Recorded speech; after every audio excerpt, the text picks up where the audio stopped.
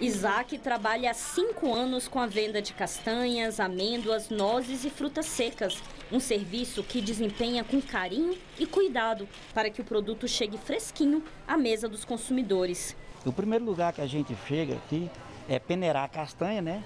Fazer ela mais limpa, o cliente levar, né? Cuidado ao comprar, que também está na rotina dos consumidores. Hoje em dia, minha filha, a limpeza acima de tudo, né? Preservar a nossa saúde. Sempre olho o aspecto, o ambiente, né, a higiene.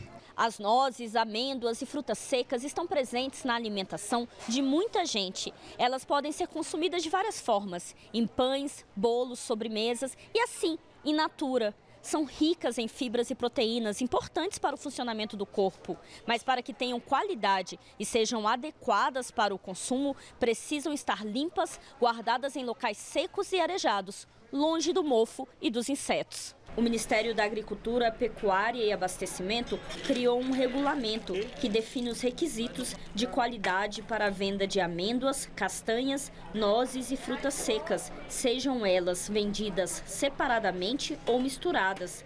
Além do cuidado com insetos, o produto não pode estar com cheiro estranho ou com sabor azedo ou ardido. São produtos muito suscetíveis à contaminação por fungos que podem desenvolver micotoxinas que são prejudiciais à saúde.